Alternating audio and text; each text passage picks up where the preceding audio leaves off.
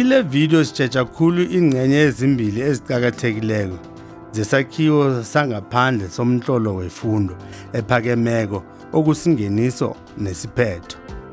Ngemva kokuhlela ukutlola kwakho, kufuneka ube nenhlokwana ozokhulumela phezu kwazo kanye namaphuzu acakathekileko ozokukhuluma ngawo. Isingeniso nesiphetho zingcenye ezincane zomhlolo omkhulu ezinomsebenzi wokuvula umqondo omkhulu omumethiweko kanye nokuvala okuseleko.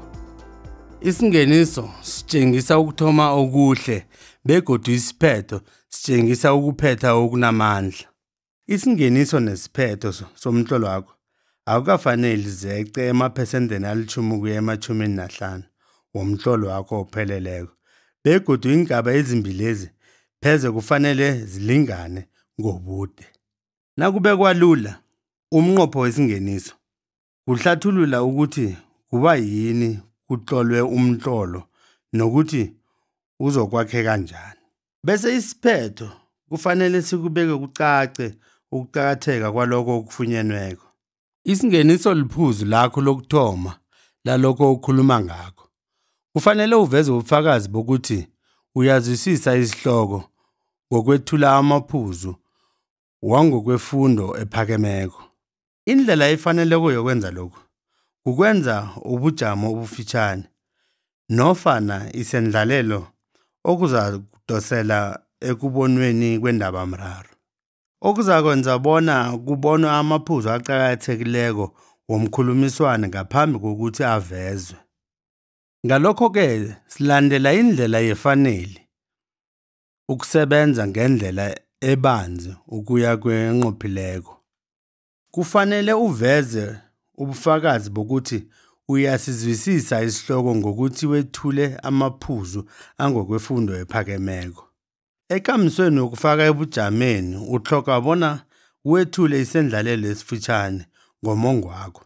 Lokhu kunikela ofundako ubufakazi bokuthi uyabuzwisisa ubujamo nokuthi uyakghona ukubona umraro onqophileko ekufanele urarululwe. Kundabomraro, umuntu uveza ngokucacileko ukuthi khuyini okufanele kuphenywe emsebenzini loyo. Indabamraro ivamise ukulandelwa isitatimende se-thesis. Okubilokhu kuhlobene khulu. Isitatimende se-thesis singahlathululwa njengombono wakho wokuthoma malungana nesisombululo sendabamraro. Engcenyeni yokugcina yesingeniso amaphuzu aqakathekileko womzimba womtlolo omkhulu ayethulwa. Kwenza ofundako bona abe nomqondo wesakhiwo sakho soke. Ngamanye amagama kutjengisa lokhu ozokukhuluma ngakho ukuze uqinisekise isitatimende se-thesis yakho kanye nangendlela ozokwethula ukunganga kwakho. Isiphetho siyafana nesingeniso kodwana lapho uzakuqalisa kilokho okwenziweko ku-essay. Kanengi kuba mbono omuhle ukuthi uqalise kundabamraro begodu ukutshengise kucace ukuthi i-thesis yakho ilungile nofana ukuthi kwafanele bonyana uyichugulule njani ukuze uthole ipendulo yomraro.